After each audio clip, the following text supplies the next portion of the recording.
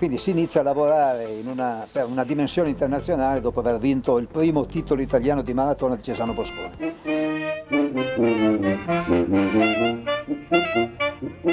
Ero molto emozionata, insomma, la prima Cioè avevamo dei riti un po'...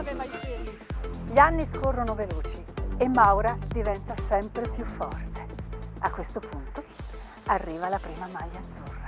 Tutte quelle volte che mi incitavi e mi dicevi dai che la maglia azzurra sta arrivando, è vicina. Eccola qua. Bella! Questa oh, è- ma io ci credevo, È eh. la prima tuta. Maura, cara mia!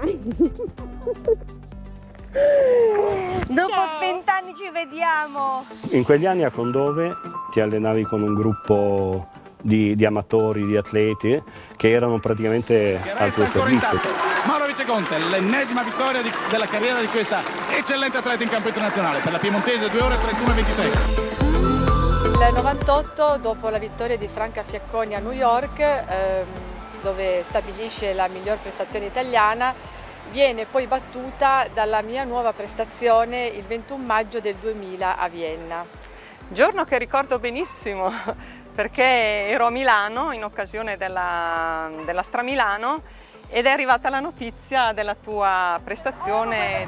e ero proprio determinata a vincerla perché in qualche modo mi dovevo rifare e quindi mi allenai come, come una pazza e andai allo start eh, determinatissima. Dentro di me dicevo o vinco o mi fermo oggi. Le esperienze belle e brutte sono ugualmente formative, anzi, forse quelle che non vanno bene sono ancora più formative di quelle che invece funzionano alla grande e ti servono per In gara ognuno correva per sé, ma finita la gara eravamo tutti amici come prima, si andava a scherzare, a ridere, tutti insieme. Dopo un'ora e trenta di corsa la Machado attacca lungo il Danubio.